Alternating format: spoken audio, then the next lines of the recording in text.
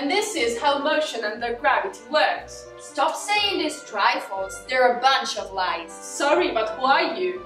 I am Aristotle's pupil, the mouthpiece of the Ipse Dixit subject, the master of physics. Unfortunately, my mentor is not as bright as rain after 2,300 years in the time. Master of what? Would you like to know what Aristotle has handed down through the years? May I have this honor? If you use your logic, it's obvious that a heavier object falls faster than a lighter one. It's clear. I can't believe what I've just heard. You might think you're the master of physics, but I'll have to teach you a few things.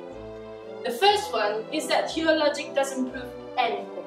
You have to support your theories with visual evidence, as I did with the scientific method that I also invented, if you don't mind me saying. You're so self-centered. At least not universe-centered. Anyway, let me demonstrate that you're totally wrong.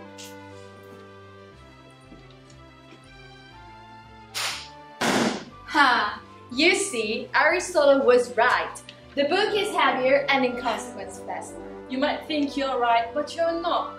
The speed of an object that is falling is not connected to its weight, but it depends on the resistance of the medium.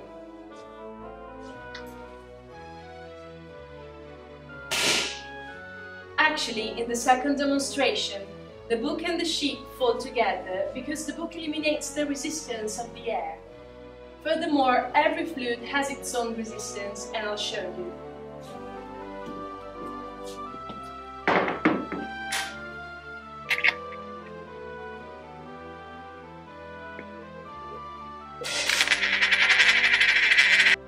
Same height, same weight, different speed, and this perfectly shows what I've just said. And in fact, Aristotle has always affirmed the presence of resistance. Yes, he has, but he has no idea of what it is. In fact, the main element to keep in mind is that it depends on the surface of the falling object. Come on, pupils.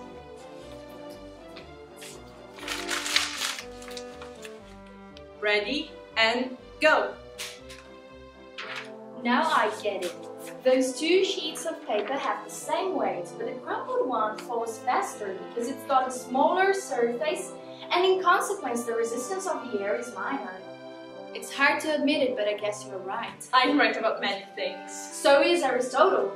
For example, he was right when he stated that the speed of a falling object is constant. I really don't think so. And let's hear why, good for nothing teacher.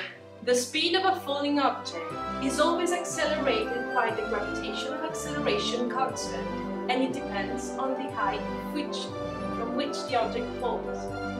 I don't agree with you, but I accept your opinion. Well, I guess we'll see each other again as soon as you change your mind. Well, this means never again.